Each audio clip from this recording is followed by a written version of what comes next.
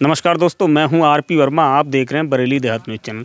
इस वक्त हम पहुँचे हुए हैं बरेली के थाना क्षेत्र विशारदगंज के गाँव भेटा बुज़ुर्ग योगी विजय देवनाथ ब्रिगेड कार्यालय पर आज शहीद चंद्रशेखर आज़ाद की पुण्यतिथि का कार्यक्रम रखा गया है यहाँ पर, और बड़ी संख्या में यहाँ पर लोगों ने चंद्रशेखर आज़ाद की पुण्यतिथि की जो भावपूर्ण श्रद्धांजलि थी, उसमें हिस्सा लिया, और यहाँ के जो योगी विजय देवनाथ ब्रिगेड के जो अध्यक्ष हैं योगी विजय देवनाथ हमारे साथ हैं। आइए हम उनसे जानते हैं आखिर क्या संदेश देना चाहते हैं और यहाँ पर जो आप एक संत होते हुए भी आपने चंद्रशेखर आज़ाद की जयंत जो पुण्यतिथि मनाते हैं। स्वागत है महाराज जी आपका। खुश रहो बेटा। महाराज जी जैसा कि तमाम मैंने देखा तमाम संत हैं और तमाम जो मणि हैं इस तरह के जो प्रोग्राम जो आप कराते हैं आपने जो चंद्रशेखर आज़ाद जी जो देश के लिए उन्होंने कुर्बानी दी, उनकी पुण्यतिथि बना रहे हैं, एक अलग तरह का आप संदेश कार्यक्रम करा रहे हैं। लला बेटा, बिल्कुल, आपने बहुत अच्छा सवाल किया। इस सवाल का जवाब अब मैं देखता हूँ। बात ऐसी देखिए, हम महात्मा हैं और एक महात्मा महात्मा का मतलब महान आत्मा, और एक योगी हैं भाई सन्यासी। हमारा का कार्य है ना, ये नहीं कि भाई खाया, पेट भर लिया, भजन कराया इधर की उधर कर दी ये नहीं भाई। एक योगी का कार्य कार्यक्रम ये होता है दूसरे के दुख, दर्द दूर करना। और समाज को एक अच्छा आईना, शिक्षा पर दे, शिक्षा देना, अच्छी शिक्षा देना। और भाई एक बात बताओ, ये बेचारा ने ना हमारी खातिर, हम आज जो हम खुली हवा में सांस ले रहे हैं, बैठे हैं सारे, आज जो ये पत्रकारिता कर रहे हो ना, इसी की बदौलत कर रहे हो भाई। इसी की बदौलत कर रहे हो। आज अगर अंग्रेज़ शासन होता तो आपकी औकात नहीं थी मेरी औकात नहीं थी जो आपके सामने इतनी बात बोल पड़ता मैं। जो आज आ, हमें बोलने का अधिकार दिया इन्होंने अपने कनपट्टी पे गोली मार के प्राणों की आहुति दी थी। आज़ाद हूँ आज़ाद था आज़ाद रहूँगा ये आज़ाद जी के बोलते और आपके चैनल के माध्यम से मैं बता देता हूँ जो सोई हुई महान आत्मा है ना जो वो महात्मागण हैं चाहे वो आप जैसे नौजवान हैं, कोई भी है, मैं उनको जगाने का प्रयास में लगा रहता हूँ दिन रात। भाई कुछ जगे, कुछ ना जगे, और जिनकी खूनों में, रगों में ना नसों में गर्म खून होता है, और देशभक्ति का खून भरा होता है, वही लोग ये काम करते हैं।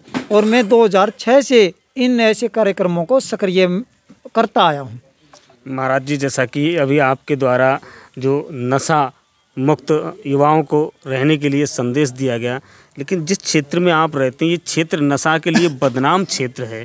तो इसको लेकर आपके द्वारा क्या मुहिम चलाई गई लला बेटा, देखिए, सबसे पहले आपको बता देता हूँ, कोई दारू पीने वाला होता है, मैं उसे ये कहता हूँ, बेटा, आप शराब छोड़ दो। तो वो आदमी ये कहता है गुरु जी आप छुड़वा दो। मैं उससे ये कहता हूँ कि, भाई, कुछ प्रयास मैं करूँगा, कुछ प्रयास आप करें। और मैं नशा करने, मुझे पता लगता है कि फलाना आदमी बेच है। देखो भाई, दिखा के तो कोई ना बेचता, ठीक है? दिखा के नया, नशा कोई नहीं बेचता।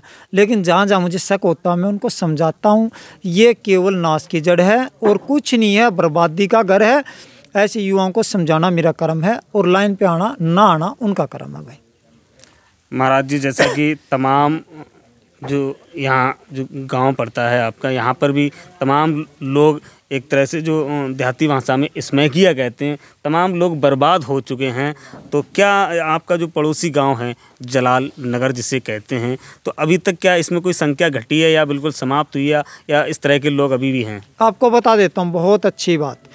सबसे पहले हमारे ग्राम बेटा बुज़ुर्ग की बात कीजिए। हमारे ग्राम बेटा बुज़ुर्ग में मैं सच कहता हूँ, चाहे बेशक किसी भी इंटेलिजेंट से या किसी भी उससे आप वो करा लीजिए तहकीक़ात करा लीजिए। हमारे गाँव में नशे की बिक्री नहीं होती भाई। और दूसरे आ जाओ पड़ोसी गाँव जलाल नगर में। इसमें पहले बहुत तगड़ा नशा होता था। इस समय जो पहले टूटकट फुटकट में जो दस, बीस, पचास, सौ का, पाँच सौ का बेचा करते वो बंद हो चुकी हैं। अब अगर कोई मोटा कार्यक्रम करता है, जो भी नशा पता का करता है, वो मैंने पहले भी कहा कि वो हमें बता के नहीं करेगा। चोर चोरी छोड़ सकता हेरा पेरी नहीं छोड़ेगा। वो बता के नहीं करेगा। पहले क्या था? लाइन लगी रहती थी। वो लाइन आज नहीं है। आज यहाँ नहीं है। और कहीं है तो मुझे पता नहीं। महाराज जी, जैसा कि आप जो शहीद चंद्रशेखर आज़ाद जी की जो पुण्यतिथि आज अपने कार्यालय पर बना, मना रहे हैं तो क्या कोई ऐसा कोई, आज से आप एक संकल्प लेते हैं, कोई नई मुहिम छेड़ेंगे, जिससे समाज में जो तमाम तरह की बुराइयाँ हैं, वो दूर हों?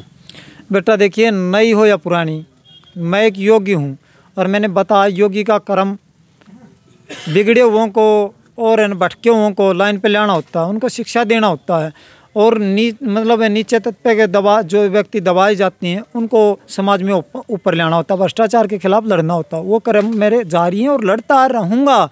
और जो भी आपके चैनल के माध्यम से युवा, खासकर युवा वर्ग को हाथ जोड़ के विनती है मेरी, आप लोग कुछ नहीं, इस नशा, नशे में, सट्टे में कट्टिया में या आस्की में कुछ भी नहीं है मेरे बच्चों।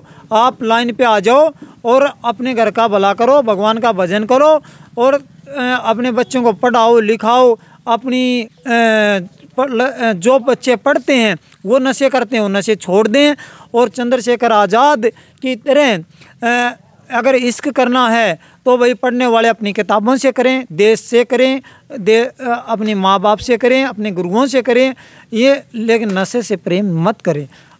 जिस चीज़ से बर्बादी होती है, उससे न करें। देखिए दोस्तों हम अभी आपको जो खबर दिखा रहे थे वो आश्रम और जो कार्यालय है योगी विजय देवनाथ महाराज का जो राष्ट्रीय कार्यालय है बेटा बुज़ुर्ग में वहाँ से हम आपको लाइव तस्वीरें दिखा रहे थे। लगातार ऐसी खबरों के साथ अपडेट रहेंगे। देखते रहिए वरेली देहात न्यूज़।